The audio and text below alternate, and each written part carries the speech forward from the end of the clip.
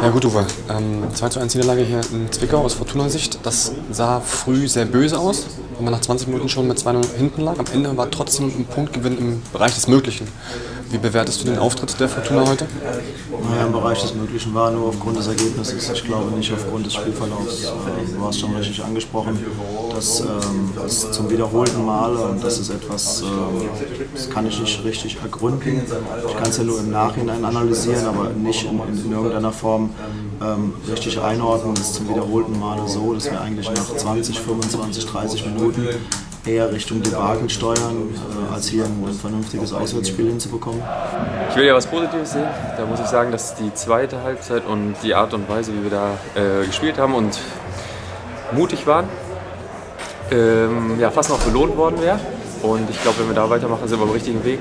In der ersten Halbzeit haben ein paar Dinge gefehlt, ein paar Prozent. In Zweikämpfen, in, in Wollen sag ich mal. Und ähm, das war uns Zwickau voraus. Aus meiner Sicht äh, ist es sehr, sehr bedenklich, dass Mannschaften äh, dann tatsächlich auch eine höhere Intensität gehen können, wenn man zum Teil heute die Körpersprache von uns gesehen hat und dann so diese Gier, diesen, diesen absoluten Willen, Zweikämpfe zu suchen, eins gegen eins Situationen zu gewinnen von Zwickau, dann bedeutet das, dass äh, der Gegner eine andere Einstellung, eine andere Hingabe zu der Sache hat. Das äh, ist deswegen bedenklich, weil wir immer noch eine Mannschaft sind, die nicht aufgrund ihrer überragenden fußballerischen Fähigkeiten Drittligaspiel gewinnen kann, sondern da müssen eben andere Faktoren hinzukommen. Das sieht man in, in, Saisonphasen immer wieder und sehr, sehr vorbildlich. Aber leider Gottes haben wir negative Ausreißer, die aus meiner Sicht so auch nicht äh, zu entschuldigen und vor allen Dingen nicht zu dulden sind. Wir hatten uns vorgenommen, ähm, die nächste Viertelstunde nach der Halbzeit ähm, ja, möglichst mal ohne Gegentor zu überstehen.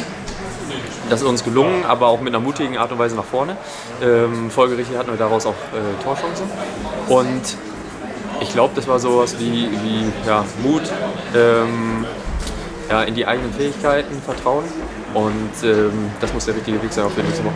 Ich fand, es gab eine Phase, in der wir tatsächlich etwas besser im Spiel waren, in der wir etwas mutiger auch von hinten heraus gespielt haben, uns nicht immer aufgedreht haben zum Torwart und diesen Alibi-Pass nach hinten gespielt haben, sondern auch mal mutig und halbdiagonal ins Mittelfeld rein kombiniert haben, auch mal ein paar durchsetzende Aktionen am Flügel hatten. Daraus ist dann auch ein Anschlusstreffer resultiert, daraus ist die Riesenchance von Bösing resultiert, aus einer Einwurfsituation die Chance von Mimbala, wenn er dann nicht mit voller Kraft gegen den Ball tritt, sondern einfach nur das Tor anvisiert, dann ist, eine, dann ist es eine Möglichkeit, irgendwo überraschend äh, den, den Ausgleich äh, zu machen. Aber nochmal, ich finde, das ist immer so die Bewertung aus der emotionalen Sicht heraus. Aus der rein faktischen Sicht heraus waren wir heute hier unterlegen. War es eher ein 3, 4, 5, 1 als ein 2, 2. Und das ist kein gutes Zeugnis, wenn ich bedenke, wie sehr groß der Unterschied zwischen uns und Zwickau in der Hinrunde war. Hat bei denen eine mega Entwicklung stattgefunden. Und ich muss ganz klar so kritisch mich selbst auch hinterfragen, bei uns eben nicht. Ähm, jetzt hat man nächsten Freitag ein Heimspiel gegen SC Paderborn. Welchen Stellenwert misst du diesem Spiel bei? Ja, im Großen. Ähm, Flutlicht mag ich ja sowieso. Wir als Mannschaft auch. Ähm, ja, und mehr oder weniger haben wir uns das ja äh, selber eingebrockt, dass das nochmal eine große Bedeutung hat für uns, ähm, gerade vor eigenem Publikum dann noch. Ja. Du hast gerade angedeutet, dass die Fortuna nach Lotte so ein bisschen die Gier verloren hat, vielleicht auch, weil der Abstand nach unten groß war. Jetzt kriegt man am nächsten, Samstag, äh, nächsten Freitag Paderborn zu Hause. Wie eklig kann die Situation noch werden? Ganz schlimm. Also ich sage ganz schlimm, weil wir äh, absolut jetzt wieder mit dem Rücken zur Wand stehen.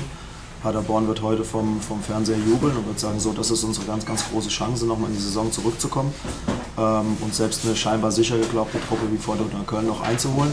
In unser Restprogramm finde ich es eklig ähm, und ähm, das Restprogramm von Paderborn aus meiner Sicht machbar. Wenn die bei uns tatsächlich einen Dreier holen sollten, dann haben wir noch zwei Heimspiele gegen Mannschaften, die vielleicht nicht mehr unbedingt äh, um, äh, müssen. Äh, insofern finde ich eine, eine, ganz, ganz schwierige Situation, weil wir alles daran setzen sollten, die Dinge noch in unseren eigenen Händen zu behalten.